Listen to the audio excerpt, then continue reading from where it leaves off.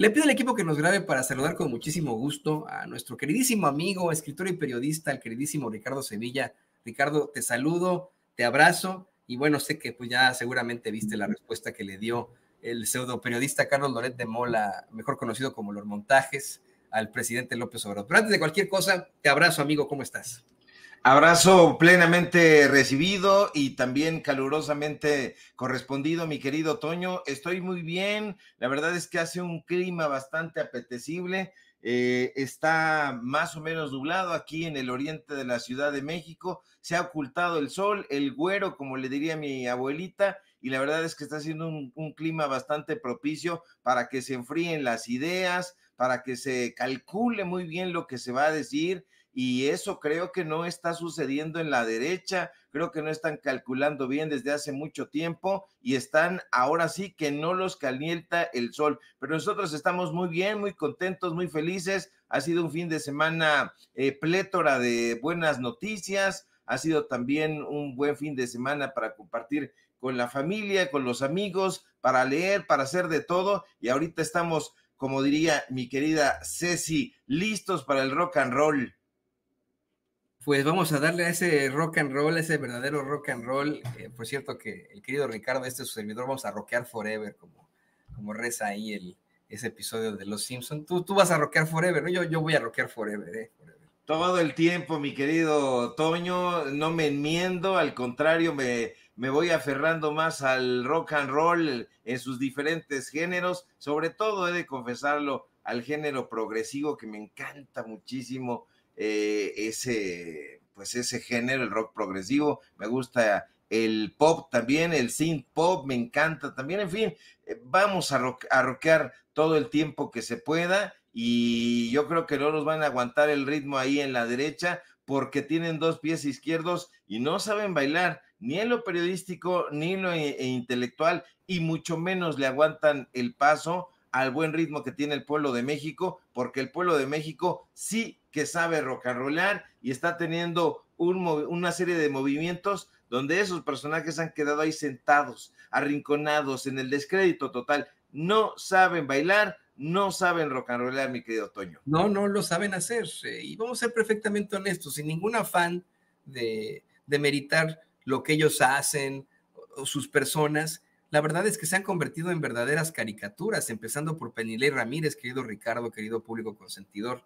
Yo, e, esto a mí me da mucho coraje que de pronto eh, escuchemos una Penilei Ramírez hasta fingiendo un acento cuando le hacen una entrevista acá en Estados Unidos.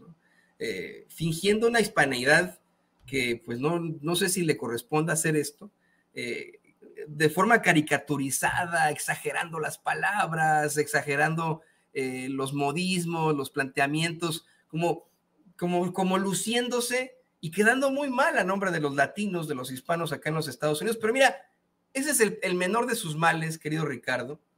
Fíjate que estaba leyendo esa pseudocolumna que escribe esta señora, plagada de, más bien, carente absolutamente de rigor periodístico. Una columna que, pues, por supuesto, puede tener eh, la opinión, de eso se tratan las columnas, una opinión periodística, pero que tiene que ser sustentada con rigor periodístico. Eso es, eso es fundamental. Y aquí, bueno, pues no solamente juicios de valor, sino que yo no encuentro una sola prueba de lo que plantea.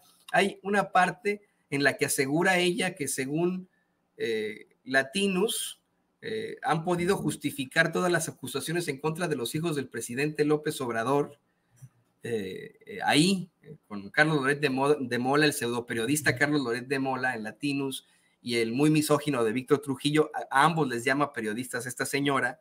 Eh, cuando yo te lo digo claramente, querido Ricardo, si verdaderamente estos señores hubieran podido comprobar algo en contra de los hijos de López Obrador, eh, los abogados de los panistas definitivamente hubieran eh, buscado acusaciones formales penales en contra de los hijos del presidente antes de las elecciones. No nomás hubiera salido ahí en, Latinos, eh, les hubiera pasado exactamente lo mismo que acá en Estados Unidos al hijo del presidente Biden, a Hunter Biden, que ya enfrenta eh, una, pues una culpabilidad, una declaración de culpabilidad por los delitos que le perseguían. Eh, allá en México no hay ni siquiera acusaciones formales en contra de los hijos del presidente López Obrador. Y en esto basa esta señora una supuesta persecución por parte del gobierno de México a Carlos Loret de Mola, a Víctor Trujillo, a Roberto Madrazo, a la plataforma Chayotel de Choque Latinos con la unidad de inteligencia financiera, ¿no? Eh, una unidad de inteligencia financiera que, según plantea hoy el presidente López Obrador, lo ha investigado a él desde hace 20 años. ¿Te, parece si antes de que vayamos a, tu análisis escuchamos al presidente, eh, pues, responder a, Carlos Loret de Mola? Miren, David, es el, eh, el, clip 27. No, perdón, sí, creo que es el 27, déjame ver si no le... Sí, debe ser el 27, don David, pero es, es un clip en el que el presidente, pues vamos, ahí responde directamente a Carlos Loret de Moles, pero no, no le voy a poner la parte directa de, déjeme ver, se lo voy a poner, se lo voy a, revisar antes de cualquier cosa. Eh, no, es el 26, don David, disculpe usted, es el 26. Veamos, escuchemos cómo es que el presidente López Obrador cuestiona qué va él a andar pidiendo una investigación contra Loret de Mola si es de dominio público, que es un chayotero. Termino nada más diciendo algo, este, porque ayer creo que antier, eh, salió eh, Carlos Loré de Mola a decir que estaba siendo perseguido por el gobierno. Falso. Nosotros no perseguimos a nadie. A nadie. Puede ser que eh, esta institución que tiene ese trabajo de ver movimientos extraños en las cuentas. Es este, una oficina de investigación financiera que se tiene en México y se tiene en todo el mundo para cuidar lo relacionado con el lavado de dinero. Esa institución a mí me ha revisado mis cuentas desde hace 20 años. Y después el presidente lo, lo, lo, plantearía muy claro, querido Ricardo, querido público consentidor que va a tener que andar pidiendo una investigación para Carlos Loret de Mola si él mismo lo ha exhibido una y otra vez en la conferencia de prensa mañanera? Y la verdad, si te soy perfectamente honesto, Ricardo, si el presidente pidiera una investigación a Latinos, a Madrazo, a Víctor Trujillo, a Carlos Loret de Mola, creo que el público, ese común denominador mexicano y mexicana que votó a favor de Claudia Sheinbaum, tendría un respeto pues es lo que estamos pidiendo, presidente, justicia. Bueno, pues ya respondió Carlos Loret de Mola, esto es lo que le dice al presidente, que según él lo aceptó. Póngame, por favor, ahí el, el tuit, don David, de Carlos Loret de Mola, dice, el presidente tira la piedra y esconde la mano. Dice que él no pidió una investigación en nuestra contra, pero que puede ser que la UIF, la Unidad de Inteligencia Financiera, sí. Como si no supiéramos que en este gobierno no se mueve una hoja de papel sin la orden de López Obrador. Bueno, yo no sé, Ricardo, lo que tú opines. Yo esperaría que en todo caso, efectivamente, el gobierno hubiera buscado una, investigación contra el corruptazo ese junior de Carlos Lórez de Mola, conocido por sus montajes, por destruir vidas eh, de, gente como Israel Vallarta, como Franz Cassé. Eh, por supuesto que hace falta una investigación a sus finanzas personales, pero eh, el micrófono es tuyo, querido Ricardo. Te ofrezco disculpas por aplazarme un poco más en esta introducción, pero es un tema que a mí, a mí me pone la piel chinita. Claro que sí, mi querido Toño, no tienes que pedir ningún tipo de disculpa porque es necesario el contexto, porque la gente muchas veces no tiene el estómago y se entiende de estar leyendo a estos personajes, a estos oquetes, a Penilei Ramírez ahí en el Pasquín Reforma y a Loretito hoy en el Pasquín también en el Universal. ¿Cuántos pasquines hay y cuántos pasquines tendremos que seguir tolerando. Eso ya está en descrédito y va a la baja. Como bien apuntas, durante el fin de semana estuvo circulando un supuesto reportaje de esta mm, periodista llamada Penilei Ramírez, lo publica ahí precisamente en el Pasquín Reforma. Y mira, Toño, el texto adolece, como bien apuntaste, de todo atributo periodístico. No hay rigor en el tratamiento, no hay rigor en la forma, todo es especulativo y diremos en términos de la derecha sospechosista. Eh, Penilei nos dice, fíjese nada más, nos dice que le dijeron que hace algunos meses una fuente que no identifica para nada de la Comisión Nacional Bancaria y de Valores buscó, eso sí, muy discretamente por debajo del agua al periodista Víctor Trujillo, así le llama, periodista Víctor Trujillo, a este personaje que tiene un payaso como alter ego. Dice que para decirle que la unidad de inteligencia financiera de la Secretaría de Hacienda lo estaba investigando. Primero que nada, hay que decir que este texto está huérfano de todo atributo periodístico, se lo subrayo. Ahora, nos dirán, todo el tiempo está diciendo Toño, todo el tiempo está diciendo Sevilla que los textos periodísticos no cumplen con los requisitos, que no son rigurosos, que no son efectivos. Ojalá Penilei o alguno de sus palafreneros nos esté escuchando, porque rápidamente le voy a dar una clase, una clase de periodismo y no se la voy a cobrar, se la voy a dar gratis. Una tesis eh, clara y argumentada es lo que debe tener un texto periodístico. Debe informar, debe orientar al lector sobre la realidad que se presenta, no debe estar presentado sin pies ni cabeza, eh, debe estar bien estructurado, tiene que tener un título que nos vaya a anticipar de lo que se va a tratar. Un titular, como ellos dicen, atractivo, que enganche, que es lo que ellos están buscando. Estos personajes no están desarrollando eso, han cedido al amarillismo, al sensacionalismo, no están fundamentándose en datos, en datos duros, en documentos, en fuentes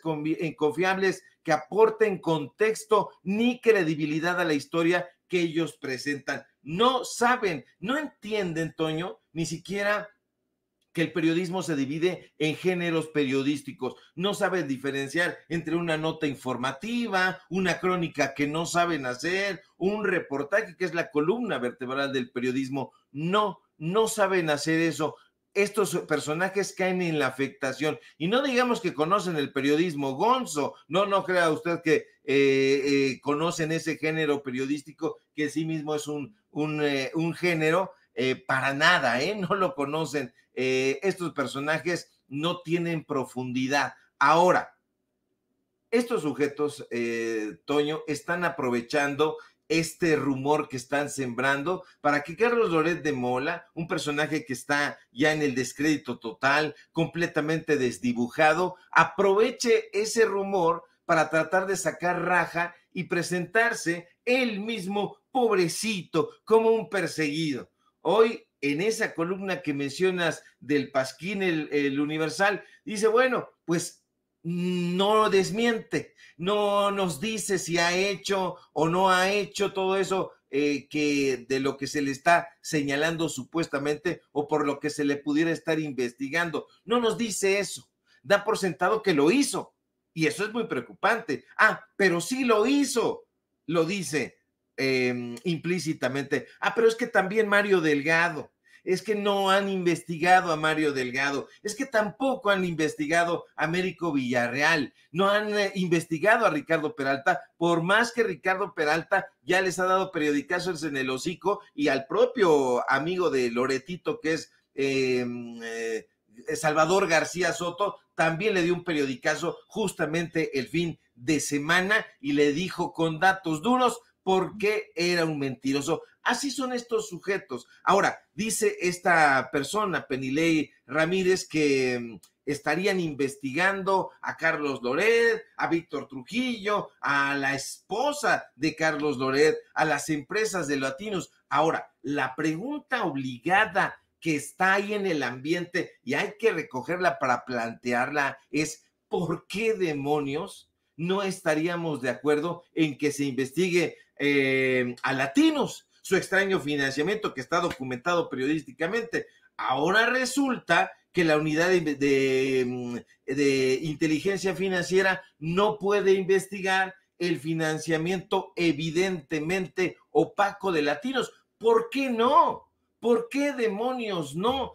Ahora, si Latinos fuera una empresa legal, no tendría por qué sentirse agraviada, no tendría por qué sentirse eh, preocupada. Ellos, incluso desde mi punto de vista, dirían, claro que sí, eh, investiguenos, revisemos, para que se den cuenta ustedes de que nuestro financiamiento es legal, es legítimo, pero no, no lo es. Ahí está con pruebas periodísticas que el medio de comunicación donde este el Lord Montajes trabaja y el payaso de la peluca verde han tenido financiamiento opaco, han recibido dinero público de diferentes gobiernos y lo seguirán recibiendo, ya que de una, de una manera em, cada vez menos, menos abultada, porque evidentemente fueron un fracaso como medio de comunicación. Fueron un, fracaso como medio de comunicación, Toño Público Memorioso,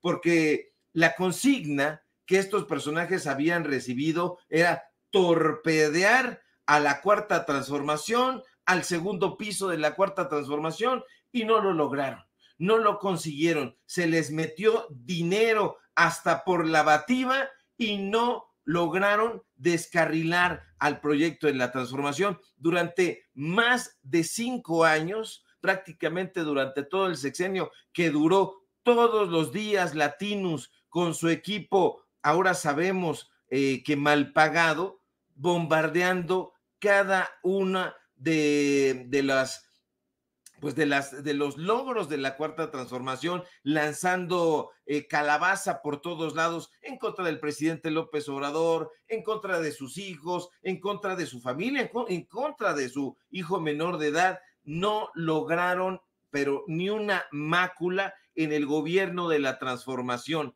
Entonces ahora que están, no tienen dinero, no tienen credibilidad, no tienen eh, eh, ocupación. Acuérdese usted que Latinos prácticamente ha dejado de transmitir eh, esas cosas horripilantes que, que hacía. Entonces, ¿qué es lo que van a hacer? Tratar de aferrarse a esos lugarcitos donde todavía desafortunadamente les dan chayote. ¿Dónde son esos lugares? En el gobierno, por ejemplo, de María Eugenia Campos, que también trascendió que estaba dándole lana a las raquis, un tema interesante. Em, ahí en la Suprema Corte de Justicia, en el Consejo de la Judicatura, es decir, en el Poder Judicial de la Federación, se van a aferrar ahí con colmillos y con garras a esos bastiones, porque es ahí donde les están dando lana y no la van a querer perder. Lo que sí ya perdieron y desde hace mucho tiempo, Toño, es la dignidad pero claramente, querido Ricardo, eh, clara, claramente, yo quiero enseñarte estas imágenes y le pido al equipo que nos grabe. Eh, e, esto que vas a ver a continuación es verdaderamente infame. Eh, es una Penilei Ramírez quien, junto a Juan Pardinas, sale de un evento privado que tuvo Xochitl Galvez durante su campaña, pero acá en Estados Unidos, en Nueva York, y es cuestionada por la gente. Había otro video que no hemos podido encontrar todavía, lo seguimos buscando, en el que directamente hablan con Penilei Ramírez, voy a ver si se lo puede encontrar al público consentidor de Sin Censura, pero esto es, eh, eh, esto es lo, claro de lo claro, ¿no? ¿Con qué cara tienes tú ahí a una Penilei Ramírez asegurando que pobre Latinus, pobre eh, pseudoperiodista Carlos Loret de Mola están siendo perseguidos junto con Broso por parte de la Unidad de Inteligencia Financiera y por lo tanto por parte del presidente López Obrador? Sí, la primera que salió a defender esta investigación, entre comillas, esta columna de Penilé Ramírez, y la primera que salió a defender a Carlos Loret de Mola fue Xochil Galvez. Y, vamos, todo este, perdón, no, esto no es teoría de la conspiración, todo está interconectado. Miren nada más.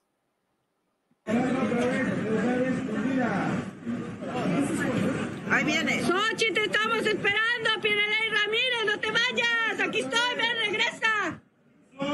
¡Peneley! ¡Peneley!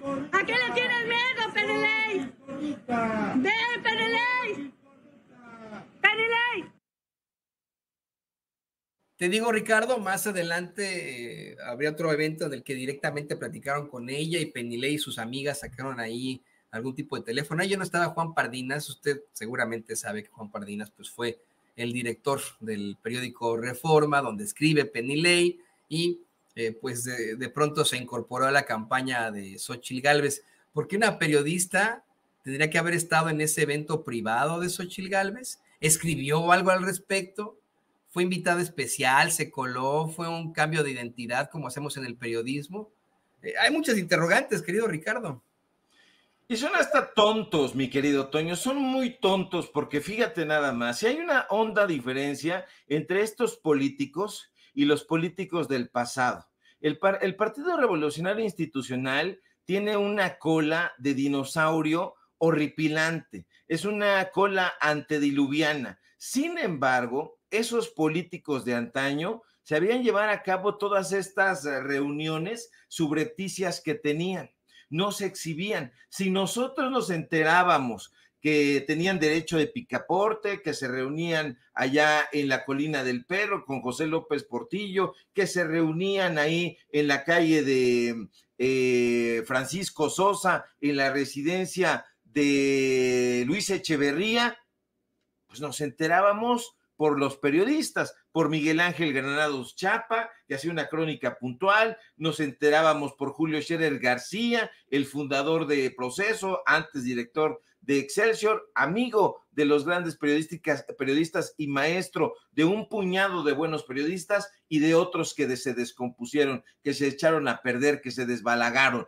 En fin, nos enterábamos a través de los libros del presidente, de Julio Scherer o de los gobernadores Ahí era cuando nos enterábamos, mi querido Toño, que se reunían, pero se reunían en la casa, en la residencia, no andaban en estos lugares, en los restaurantes. Estos personajes son hasta burdos para eso.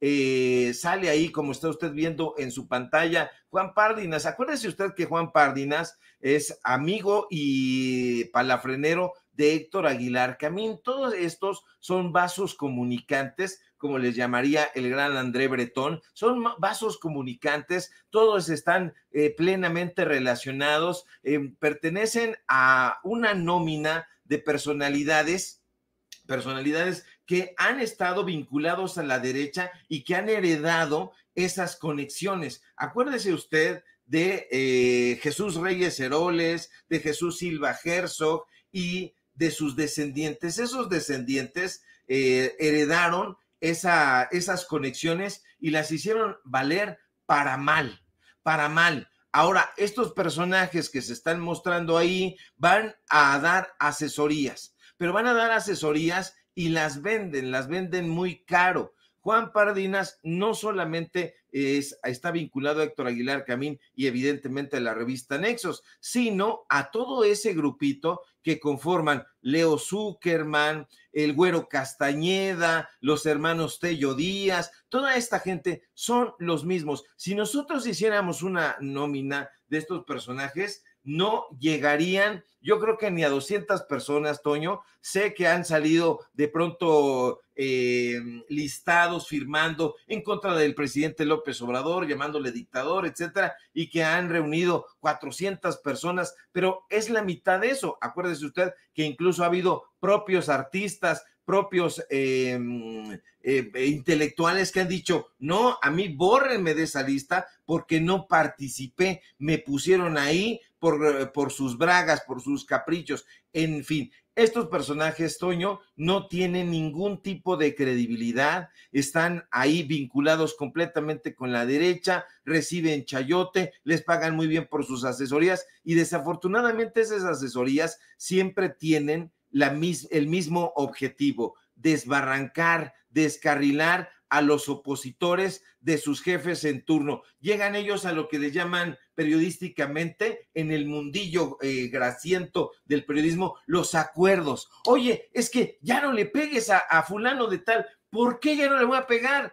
Pues, si está siendo corrupto, es que ya llegamos a un acuerdo y esos acuerdos son económicos. Hay que decirle, Toño, a la gente lo que está sucediendo en, lo, en las mazmorras del periodismo corporativo. por encimita, usted ve ahí en, Avenida Universidad las instalaciones olímpicas del periódico Reforma, eh, que tienen eh, eh, aspectos griegos, pero en realidad estos personajes en las mazmorras están cocinando el torpedeo en contra de los gobiernos que no los favorecen económicamente con acuerdos millonarios. Desafortunadamente, estos personajes todavía van lanzando cebos en los incautos que los van comiendo y dicen, es que sí son periodistas objetivos, es que sí son periodistas eh, que se apegan a la realidad. No es así. Nosotros los, les hemos mostrado este tipo de revelaciones. Por cierto que nosotros dimos a conocer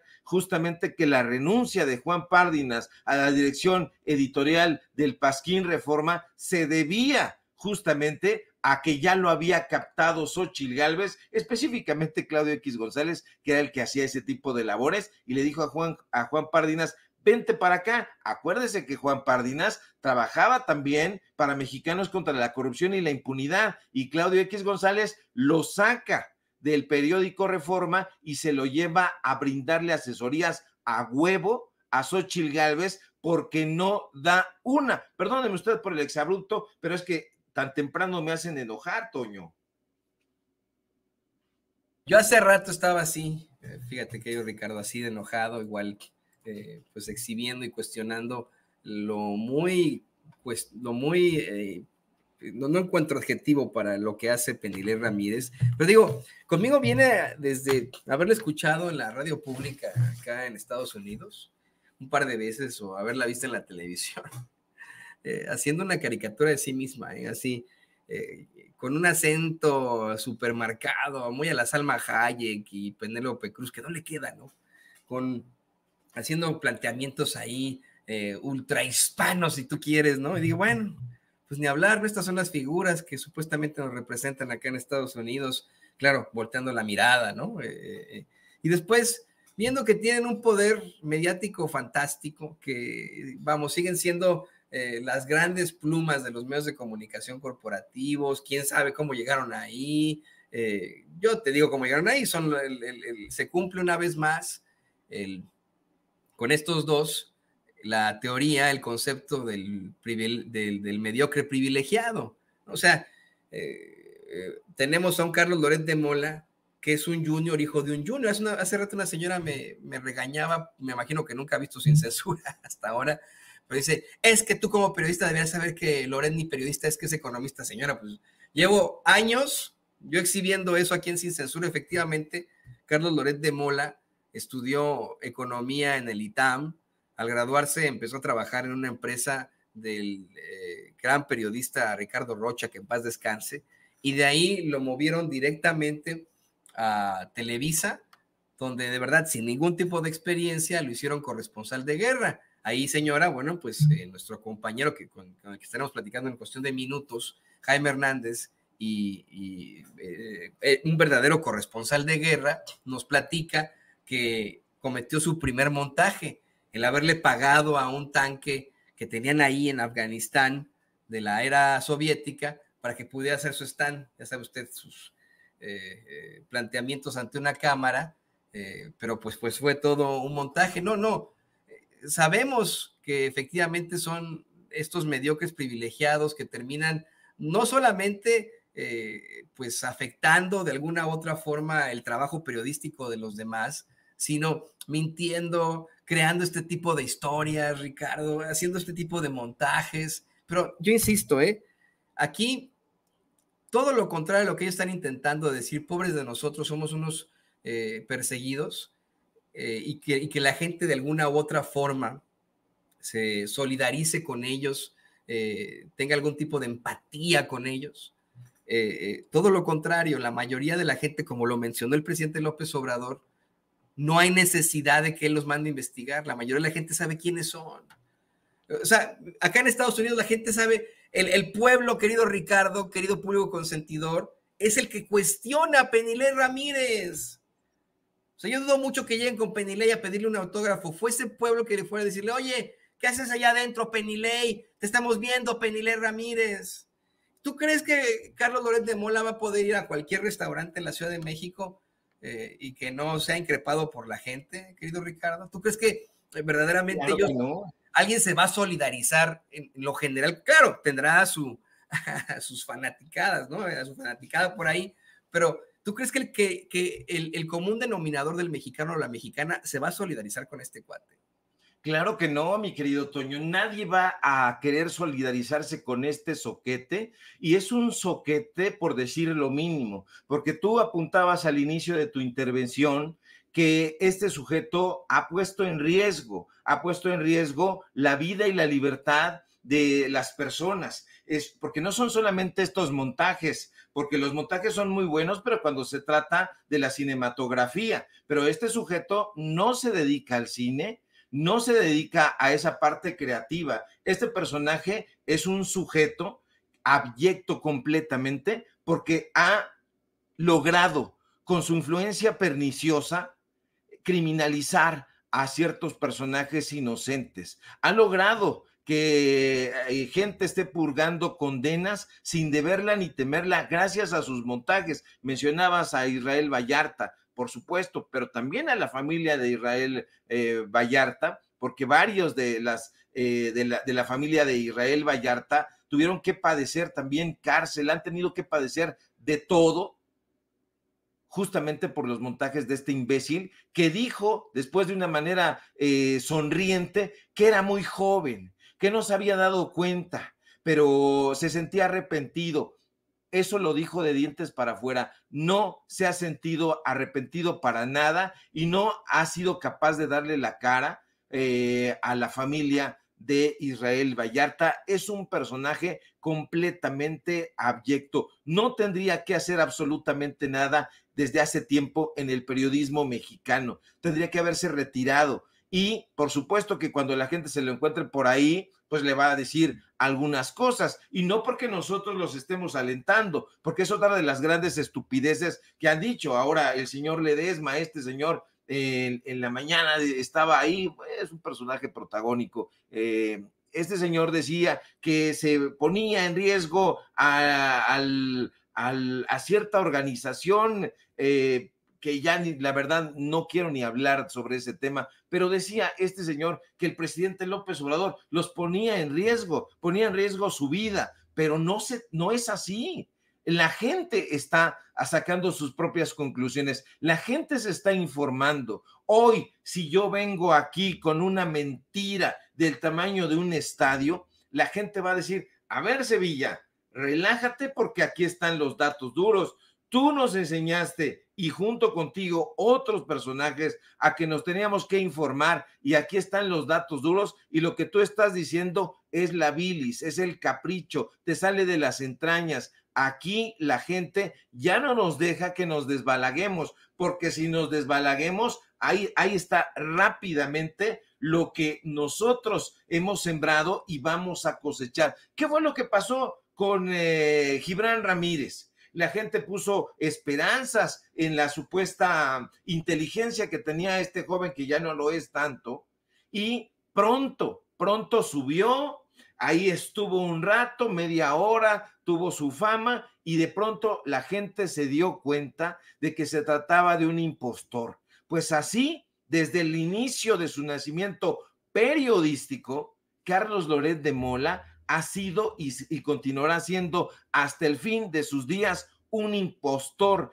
y no porque lo digamos nosotros, sino toda la gente que ha eh, padecido las malas informaciones de este sujeto, que ha padecido las mentiras de este señor. Ahora, ¿por qué no estaremos investigándolo? Si tiene eh, departamentos, si tiene posesiones. En el periodismo mexicano, Cualquier periodista de los que nos hemos dedicado durante décadas a este oficio, sabemos que no es un oficio donde tú te puedas volver rico. Y si te vuelves rico, es porque estás recibiendo chayote. Se puede pagar en muy pocos medios de comunicación eh, un salario digno y decoroso, porque eso también hay que decirlo, se paga muy poco en este oficio. Y cuando se paga millones, es precisamente porque hay chanchullo, porque tiene tres pies el gato y eso es lo que está sucediendo con Carlos Loret de Mola y todos estos personajes transas, mentirosos y sin ningún tipo de dignidad. Lo que hoy está haciendo Carlos Loret de Mola es aprovechar esa ola, agarrar una tablita y montarse a esa ola tratando de surfear para que vaya un poquito de audiencia, para que vaya un poquito de gente a ver lo que está haciendo este mentiroso. Sus días dentro del periodismo están contados, Toño. No, es que nunca estuvo en el periodismo, en mi opinión. Nunca, nunca, eh, de verdad. Más bien, yo creo que sus días sin algún tipo de problemática penal están contados. Ahí sí, para que veas, ¿no? O sea, eh, insisto, eh, teniendo tanto dinero, con tanto, tanto que le pagan, podría haber algún tipo de cuestionamiento en cuanto a Hacienda en México y acá en Estados Unidos también, Ricardo. Se supone que constituyeron la empresa acá en Estados Unidos, en Delaware, que es como una especie de paraíso fiscal de Norteamérica. Eh, eh, y aquí el IRS no se anda con tonterías. Eh, yo creo que también van a andar ahí revisando los departamentos que tiene, que han sido documentados, tiene ahí en Miami, que efectivamente son eh, eh, eh, eran muy cercanos a los de Genaro García Luna, vamos, era como su, su vecino. Así que yo creo que más que tenga el día en, el periodismo contado, los días en el periodismo contado, tiene los días en cuanto a, no enfrentar algún tipo de, acusación gruesa contado, eso sí, me queda muy, muy claro. Pero bueno, ¿qué te parece? para cerrar, como siempre, como esclavos del tiempo, se nos fue la, la hora así, así como agua. ¿Qué te parece? Y le pido al equipo que nos grabe, ¿qué te parece si para cerrar hablamos de este tema tan bonito que nos propones? Poesía, revolución y periodismo. Las mañaneras provienen de la tradición de los Flores Magón. Ah, esa no me la sabía. Qué, qué, qué interesante, efectivamente. Eh, bueno, al, conocer la obra de los Flores Magón, eh, efectivamente podemos hablar de mucho de este tipo de circunstancias, querido Ricardo. Así es, eh, mi querido Toño, las letras, el periodismo, la poesía siempre han estado íntimamente ligados ayer en una entrevista transmitida a través de diferentes medios de comunicación, pero que hacen tres personajes emblemáticos dedicados al cartón, a la ilustración, a la caricatura política, entrevistan al presidente López Obrador, uno de ellos, nuestro amigo, nuestro colega, Rafael Barajas, el Fisgón, le pregunta sin ambajes al presidente López Obrador que si él no creía que personajes como los hermanos Flores Magón eh, fueran los antecedentes de la mañanera y el presidente responde que sí, que sí, que sí, los Flores Magón y el periodismo militante que ellos ejercían es, el, eh, es la simiente de la conferencia presidencial mañanera. Dices muy bien, conociendo la obra de Ricardo, de Jesús, de Enrique Flores Magón, sabemos de qué lado está el periodismo en este país desde hace muchísimo tiempo. Fueron personajes que fundaron Regeneración allá a inicios del siglo pasado, el cual se convirtió en un medio de denuncia contra el régimen dictatorial, ese sí, de Porfirio Díaz, un personaje que, por cierto, ama, ama locamente Enrique Krause. Y a través de este medio de comunicación, Regeneración, los hermanos Flores Magón expusieron los abusos, los excesos del gobierno porfirista, así como la falta de derechos básicos del pueblo de México. Era un eh, periodismo militante, un periodismo ejercido por personas, por personalidades que tenían una íntima comunicación con las letras. El presidente López Obrador habla de Rubén Darío y nos dice algo que solamente pues algunos recordarán. Rubén Darío también se dedicaba al periodismo, pero con Rubén Darío también Pablo Neruda, el eh, premio Nobel chileno, pero también con Pablo Neruda, Gabriel García Márquez, el premio Nobel colombiano. Entonces, toda esta información que presenta el presidente López Obrador está de extrañarse, se va a extrañar mucho. A mí me gustaría, lo digo a título personal, que la doctora Claudia Sheinbaum continuara con las conferencias mañaneras, pero que además le pusiera este sesgo tan interesante que le, imprime el presidente López Obrador, hablando sobre la independencia, hablando sobre la revolución, hablando sobre las culturas precolombinas, la gran Mesoamérica que existía, para decirlo llanamente, pero ahí hemos recibido clases sobre Miguel Hidalgo, sobre em, Madero, sobre Zapata, sobre Villa, sobre escritores, sobre escritoras, sobre música, porque es sabido que el presidente López Obrador gusta de la música y coloca de cuando en cuando una canción, una canción que va a superar con mucho todo lo que intentaron hacer en materia de empatía los eh, gobernantes anteriores. La conferencia presidencial mañanera, hay que decirlo tajantemente, es un foro periodístico, Toño. Es el paradigma del periodismo en este tiempo, porque hoy mismo los medios de comunicación chayoteros no pueden hacer sus conferencias, sus, eh, eh, sus análisis, si no se basan en lo que ha dicho el presidente López Obrador. Fíjate, es nota lo que está haciendo la doctora Claudia Sheinbaum, pero en otro momento lo que dijera, por ejemplo, Enrique Peña Nieto ya no era noticia, o lo que dijera en todo caso su vocero, sino lo que iba a decir en, este mismo, en esta misma eh, fecha eh, López Obrador cuando iba a recibir ya eh, la estafeta presidencial. Así funcionan las cosas, pero el presidente López Obrador prácticamente está despidiéndose ya. Eh, la presidenta virtual electa es Claudia Sheinbaum, pero todavía la batuta de las conferencias y de la comunicación gubernamental del gobierno federal la está dando el presidente López Obrador. Y eso es fruto de la amplísima formación intelectual que tiene. Yo eh, leí hace mucho tiempo ese, ese número infortunado de la triste y ramplona revista eh, de Letras Libres que decía López Obrador, historiador. Pues sí, es un historiador, pero yo creo que nadie le ha llamado con justicia el periodista, el, el presidente intelectual. López Obrador es el, el presidente más intelectual que nosotros hayamos tenido en la historia moderna de este país. Ya por ahí anduvo circulando en determinado momento un listado de referencias literarias que hizo el presidente y son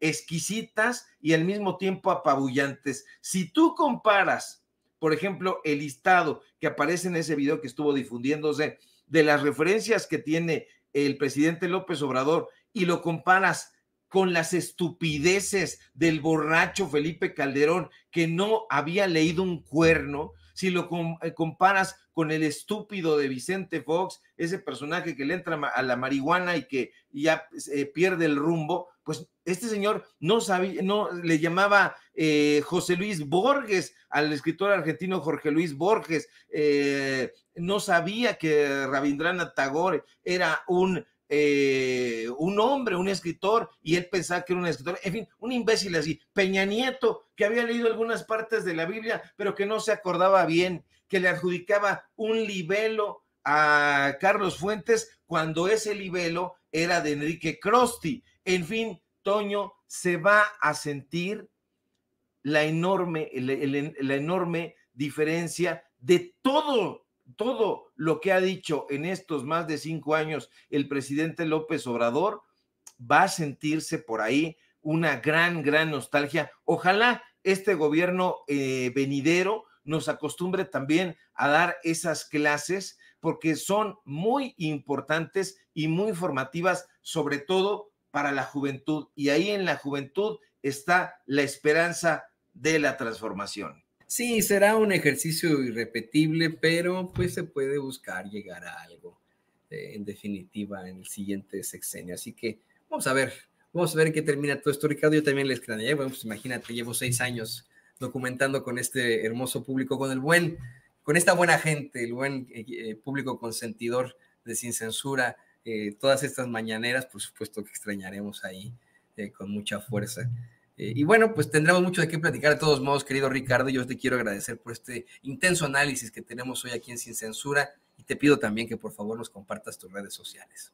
Claro que sí, mi querido Toño, público memorioso. El placer ha sido como siempre mío y por favor síganme en mis redes sociales en X arroba Sevilla Crítico, en Facebook Ricardo Sevilla sin nada más. Síganme por favor en paralelo24.mx, este portal de noticias que hacemos con muchísimo esfuerzo. Síguenos, por supuesto, en los datos duros. Hoy tenemos informativo en punto de las nueve de la noche y, por supuesto, aquí, aquí en la familia sin censura, donde estamos participando y formamos parte de su familia con muchísimo gusto. Te mando un fuerte abrazo, querido Toño Público Memorioso, y estamos pendientes a la información.